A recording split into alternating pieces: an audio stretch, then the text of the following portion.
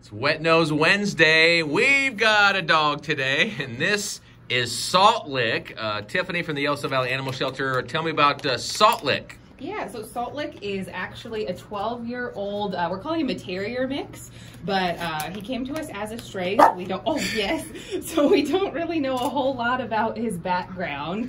Um, he's really, really energetic for being 12. I can't believe, yes, yes, I know, we see you, we hear Yes, you. Yes, I'm hungry. Really, really nice, frisky little guy. Um, he, uh, like I said, he'd be a great little dog. You know, he still has energy to go on walks and whatnot. Doesn't seem to mind other animals.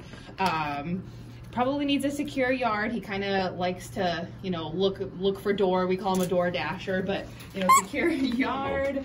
Um, he's a great little guy. I can't believe it's taken him this long to get adopted. Oh, well, he's going to get adopted now. Uh, Salt Lick, available at the Yellowstone Valley Animal Shelter. Uh, we got our uh, featured pet from last week adopted already, right, Jazzy? Yep, Jazzy's been adopted, so our, our record with Wet Nose Wednesdays is awesome, and I know the same is going to hold true for a Little Salt Lick here.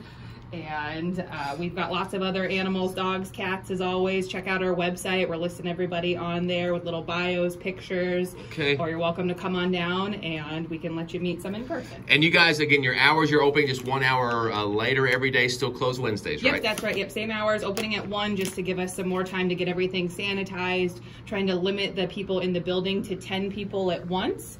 But um, again, you can see everyone on our website. Check right. them out beforehand. Save yourself some time when you get down to the shelter, and hopefully we can connect you with a new friend. Yep. And come meet Salt Lick, our featured wet nose this week on Wet Nose Wednesday.